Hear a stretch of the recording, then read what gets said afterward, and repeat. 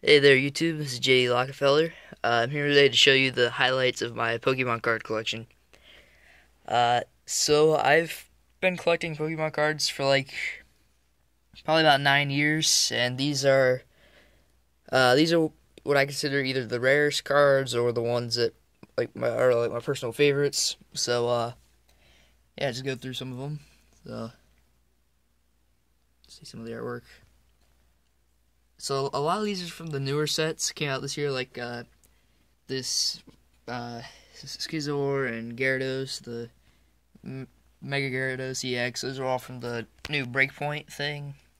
And then today I just got the, uh, I think that's from the Generation set. So, anyways, and you can see these older cards right here. You know, I got these three. I, I do have a base set Charizard.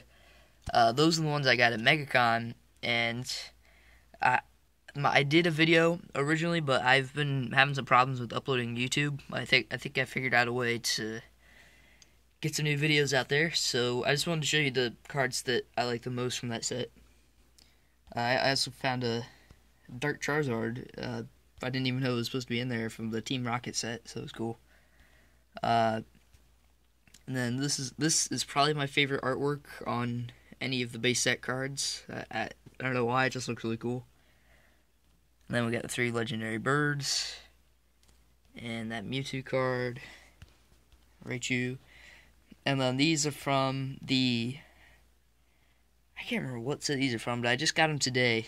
Uh, so, you know, it's pretty new. Probably, probably Roaring Skies, I'm going to guess. Um, and I got two of them, so uh, if you guys know how much they go for on eBay, or maybe I'll do a giveaway or something.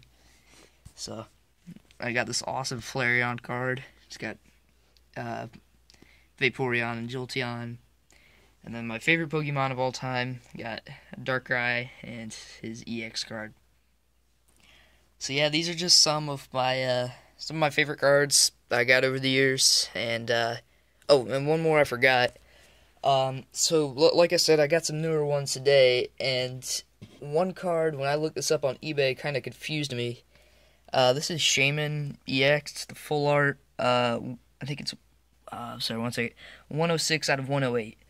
Um, I saw this card go for, from anywhere from like 45 or 50 bucks to 200, and I'm thinking about getting it graded. So if anybody knows what a graded copy of this card would go for, because um, it seems to be pretty valuable, uh, if you could just let me know, that'd be, that'd be pretty cool. So, I think that's going to wrap it up for this video. Uh, I'm hoping I can do some, um, uh, play competitively again, uh, although I also like collecting them too. Um, so maybe I'll get some videos of that in the future. And there will be a comic book showcase coming up sometime this week, I promise. Although today's Saturday, so probably tomorrow. And let me tell you, I got some really good ones at MegaCon. It's good. It's gonna be a cool video. All right. Well, uh, Thanks for watching, guys. And oh wait, I'm sorry. Wait one second. I forgot. I'm thinking about. Uh, I think uh, I'll do a giveaway on one of these cards.